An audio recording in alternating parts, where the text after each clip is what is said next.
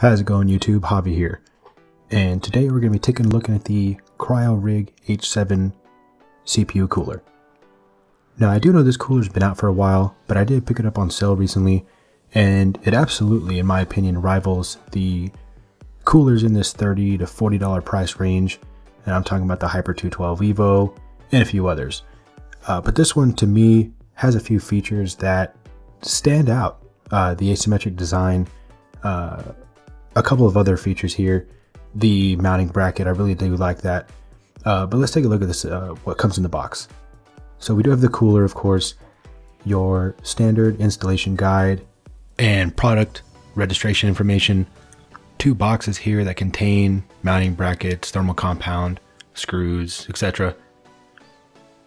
A silica gel packet, and that's pretty much it for the box. Very well put together. Taking a look at what comes inside these boxes, uh, the first one does have the thermal compound. It's just a uh, CP7 thermal compound. Uh, sorry for the camera focus there. Couldn't get it to focus properly. And two additional uh, fan adapters if you want to install another 120 millimeter fan for a push-pull configuration. And the backplate here which can be utilized for both AMD and Intel CPUs, as well as the black standoffs and the mounting screws. And that's pretty much it. A look at the cooler itself, uh, we can see right off the bat the asymmetric design. It kind of leans back a little bit, giving 100% memory clearance. The 120mm blower style fan, uh, I do, I'm a big fan of this uh, plastic cover here with the manufacturer logo on top.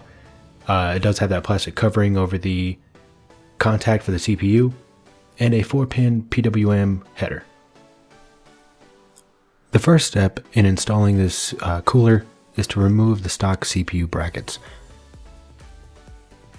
Now this just takes a standard uh, Phillips head screwdriver and once you remove these uh, four screws here and remove the mounting brackets, there is a back plate uh, on the motherboard that'll just essentially just fall out uh, once you remove these screws.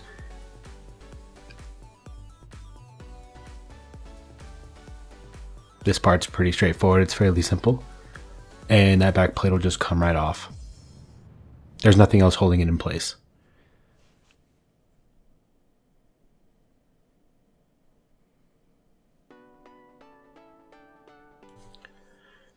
The next step in the installation process is to fit these screws uh, through the custom backplate for the H7.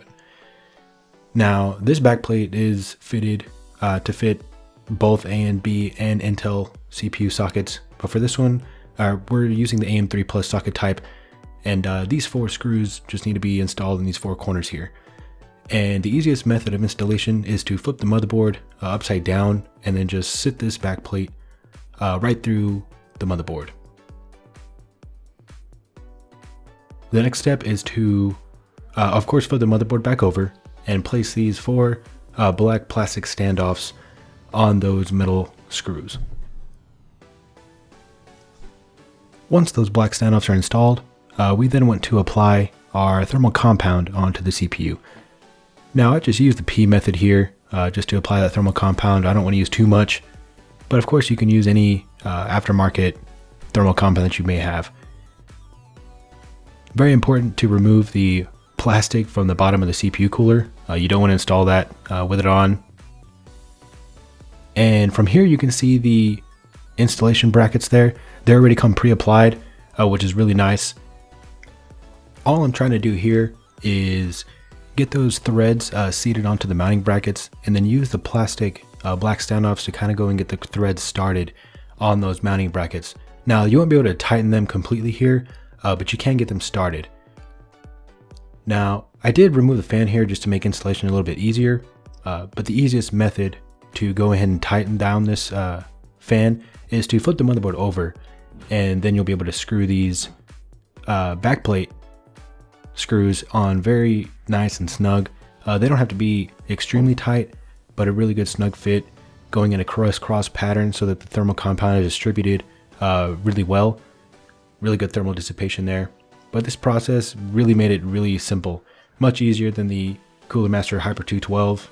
Uh, this installation process was A plus in my book, uh, probably second to a Noctua cooler. And one of my favorite features here is the asymmetric design of the tower. It essentially will allow you to install any RAM modules regardless of height. Uh, it doesn't really matter. You can have low profile RAM, high profile RAM, and that I feel like is what makes this cooler uh, a really great buy. Thank you guys for watching, and I'll catch you in the next one.